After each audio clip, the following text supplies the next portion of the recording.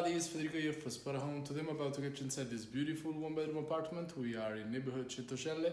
You can find a lot of public transportation in this area. You are 10 minutes on foot from Gardenie stop of the Metro C. You can find a lot of bus stops and tram lines. You can find everything you need for daily life in this area.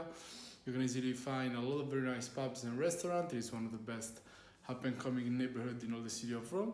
The house is on the seventh floor. Let me introduce you to it. Okay, so as you can see, it's a unique space that divides between the bedroom and the kitchen. You have this big living area. You can find here the main door.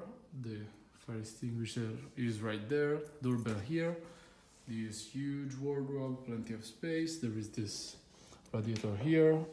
here you can find a mirror on the left, some storage above, two drawers down here, one and two. Then you have right there this big double bed with some towels.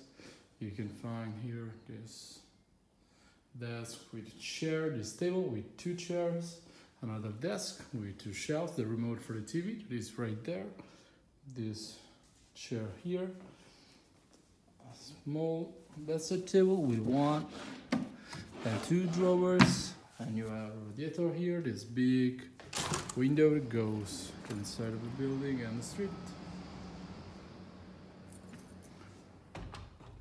You have the shutters right here. Then let's have a look to the kitchen side. Here's the freezer with the fridge down here. Then you have these two electric cookers, this drawer with cutleries, some pots right here. There's a sink. You have trash cans here.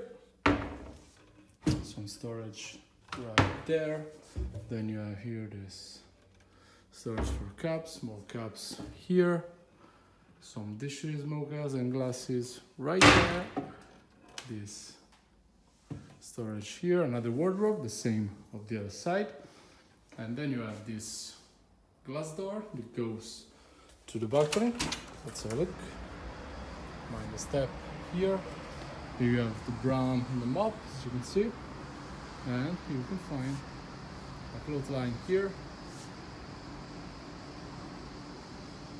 View the balcony.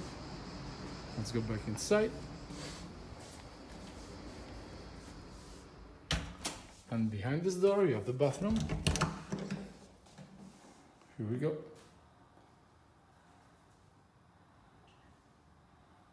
Uh, as you can see, you have this toilet here, there is a bidet, there is this radiator with a small trash can, a window goes to the balcony, and then we have this shower here, this mirror with compartments inside, and a sink, and these weird towels, and that's it guys.